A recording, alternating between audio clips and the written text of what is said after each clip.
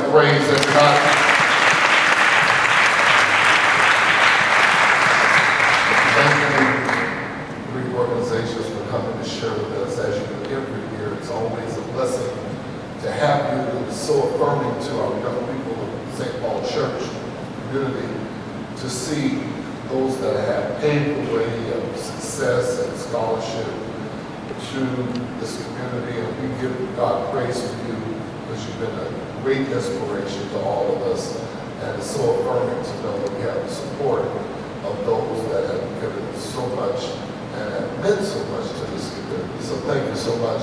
Let's give these organizations another hand.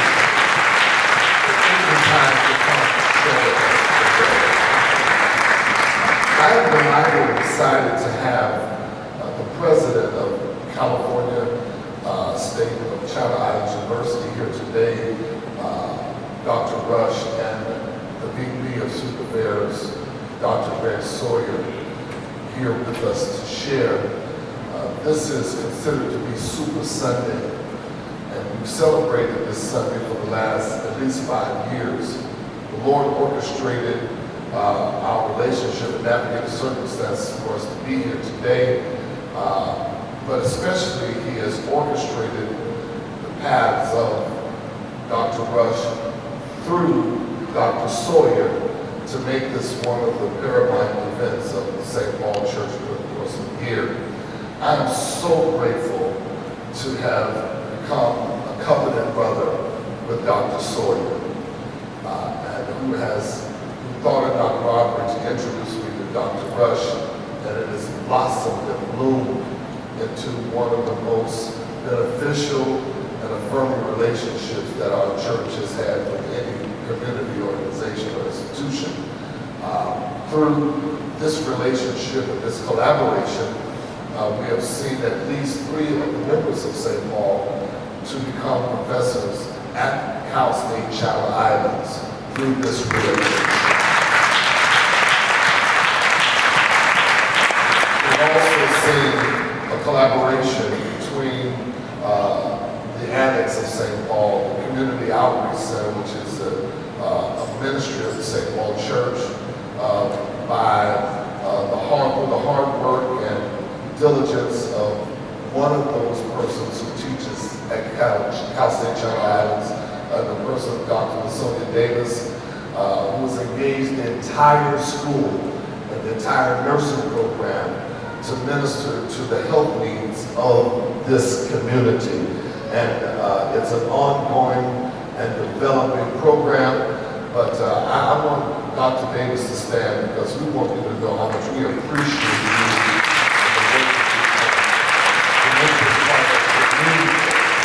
and. But none of this would be possible had it not been for the sensitivity and the commitment of the president of Cal State Channel Islands to, to not only uh, be symbolic in his commitment to the black community. Uh, he's not one of the presidents that will sit around in an office, in a meeting, and theorize about the complexities of our societal ills. He's made a commitment to do something about it. His very presence and the fact that he has been so engaging, and he's, he's even allowed me uh, to be a part of some of the very significant uh, committees at the school to collaborate with the community. And I'm just so grateful that God has placed Dr. Sawyer and Dr. Rush into the lives of St. Paul, and especially have become personal friends of ours. And so I'm going to ask Dr. Sawyer and Dr. Rush, would you come to the platform and share whatever's on your heart. We want you to know that you are celebrated here. And we are honored that God has allowed us to work with you for the people in this community. So would you come and just share Dr. King? Come on, let's it. Come on.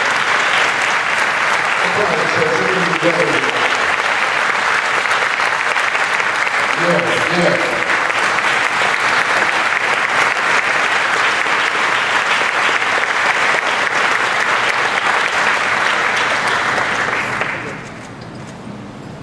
Thank you, Bishop Huggins. Thank you, everybody. Uh, Good morning to you from California State University, Channel Islands. And, you know, you were talking about sensitivity, Bishop. I think, you said it was Kaplan, but I think it was really sensitive of you to wear our university colors today. Red, and he even has a silver tie. These are our colors. I mean, very cool. He's a subtle man, but very, very nicely done. As a moment of personal privilege, I ask all of my colleagues, students, faculty, and staff from Cal State Channel Islands to stand and recognize all of you, please. Tanya,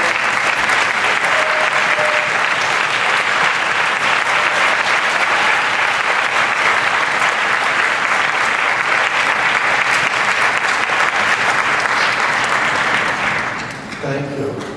It was important for me that you see, as Bishop Hogan said, that at Cal State Channel Islands, we are truly your university. And that all of these colleagues of mine and our students reach out into the community and take their time, not just today, not just on Sunday, but they take their time and their talent, they reach out to the community to help ameliorate whatever needs to be addressed. Bishop Hogan said that it's been five years or so that I've been here at St. Paul. Super Sunday efforts have been going on now for 10 years. The first five years, I was sent to Lancaster, Victorville, San Bernardino, Bakersfield, some undetermined spot in the desert, and then I got a message from Bishop Huggins, which basically said, say, don't you know that you have an African American church right here in Oxnard? And I told the people at the statewide level, could I go to Oxnard? And they said, certainly. So this year, I've been to Lancaster and Oxnard. Last year was Victorville and Oxnard. But it, but it is a privilege, and I always feel here at St. Paul that I'm coming home. And because of the welcome that I And what is the message Well, you've heard me say it now, going on five years, that the real message is we are the creators of the future together. The longitudinal data, just to remind you, tells everyone, no matter what community, that if our children and our grandchildren are not able to read and count at grade level by third grade, they are going to have trouble in life. This has gone on for years and years and years. So we have to be vigilant, and I'm asking you, as parents, as grandparents, as friends, as members of the family, be sure that you're reading to your children and grandchildren.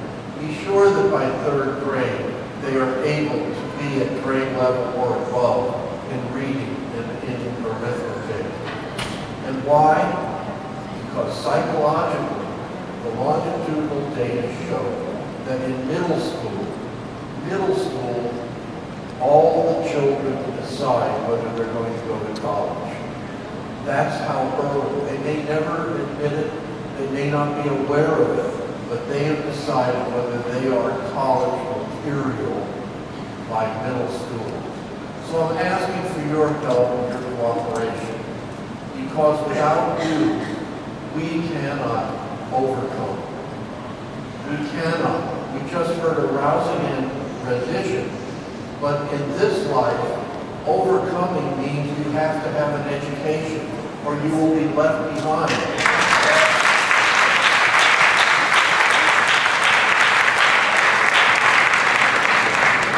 I had the opportunity this morning uh, in Bishop Huggins' office to read through a book that he had on his coffee table. And it reminded me to remind you, as if you needed to be reminded, that where the great educational impulses start? In Africa. This is your heritage. This is your future.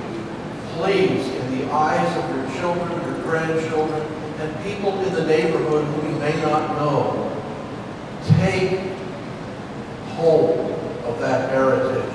And let's together take it into the future and create the future which has opportunity for all. One last thing.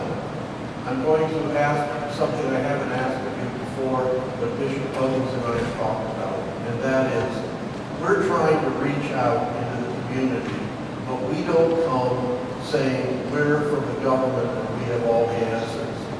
Rather, we have tried to reach out and say, what can we do? In this vein, then, what can we, as your university, do better to serve your community so that our children and our grandchildren will claim the future, will claim their heritage? If you have ideas, please let Bishop Huggins' office know, let Dr. Sawyer know, call me. We're serious about this, and if we're not doing things in a way that are best attuned to the future for your kids and your grandkids, changed. And the only way we can change is if you help us know. So once again, thank you for letting me be with you. Thank you for letting me come home to St. Paul's once again. It truly is an honor for me and a rare privilege that I never take for granted. And I hope to see you many, many times again. Thank you for letting me be with you this morning.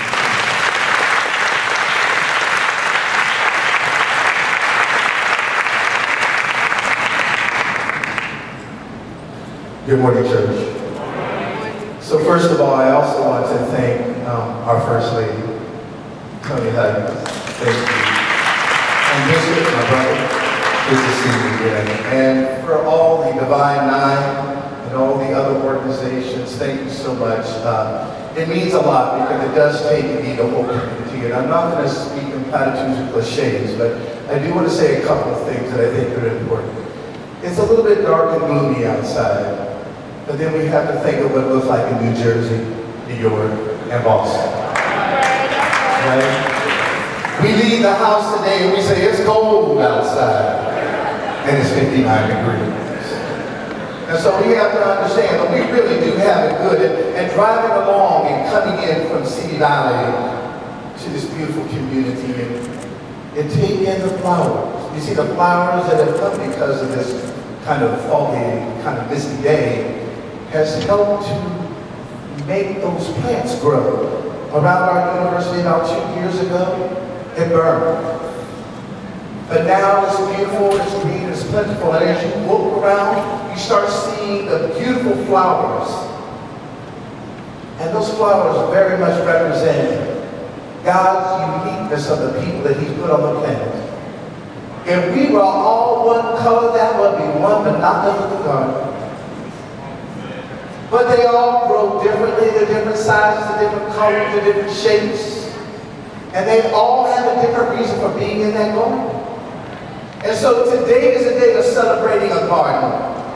We are here to celebrate the uniqueness, the color of the people, the color of the attitudes, the color of the ethics, and the color of the composure of each and every one of us that are in the audience today.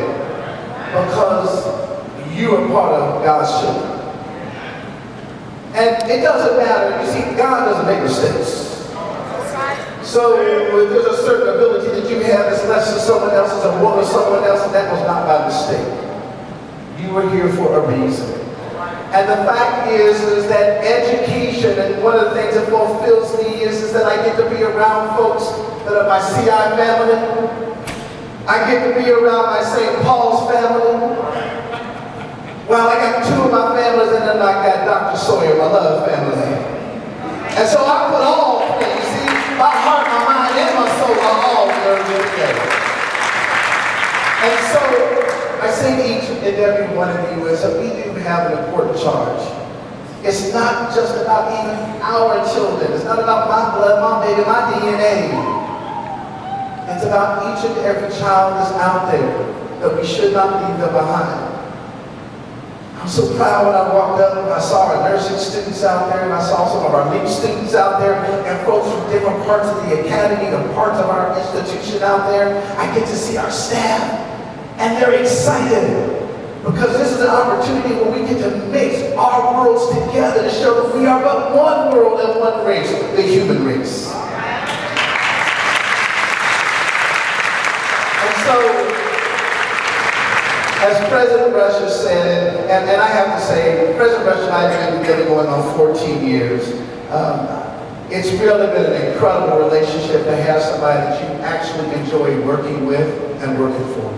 Someone who has integrity, someone who has meaning, and someone who actually has a charge to come into an institution like Channel Island and including the relationship that we have with St. Paul.